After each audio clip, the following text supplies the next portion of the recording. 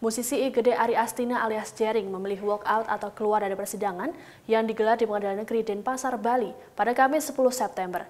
Jering bersama tim penasihat hukumnya memilih walkout lantaran keberatan dengan proses sidang yang digelar secara online. Tim penasihat hukum Jering pun akan melaporkan majelis hakim ke Mahkamah Agung.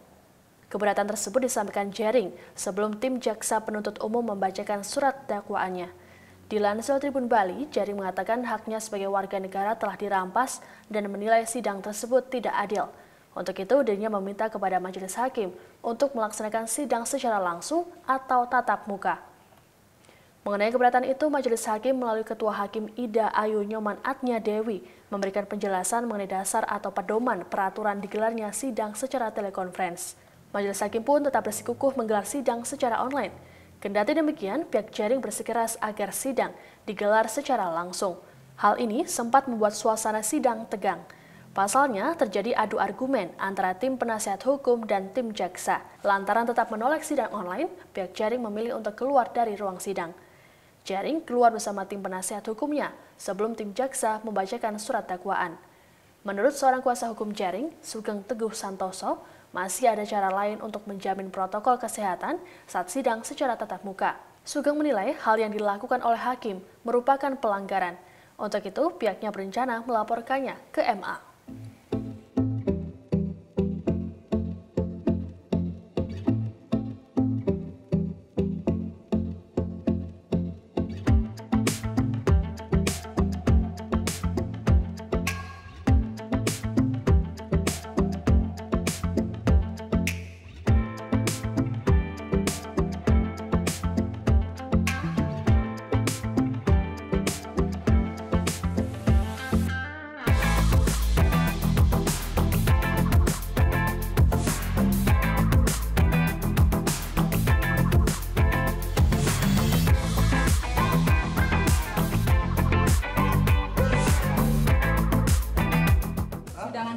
Nggak dengar apa, putus-putus, terus uh, ya saya merasa nggak ngomong, sedang tidak berbicara dengan manusia. Saya sedang merasa sedang berbicara sama uh, apa ya, layar, layar monitor bukan manusia. Siapa yang tahu itu asli manusia kan sekarang ada teknologi deepfake segala macam silakan di Google itu deepfake namanya Anda bisa menciptakan orang mirip siapa saja di layar apa di layar monitor TV dan manipulasi itu bisa terjadi dan saya live Instagram ketika saya live Instagram saja sinyal saya sering dihack ketika saya bicara isu yang yang saya rasa penting tiba-tiba suara saya hilang.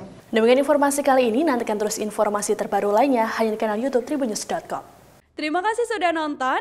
Jangan lupa like, subscribe dan share ya.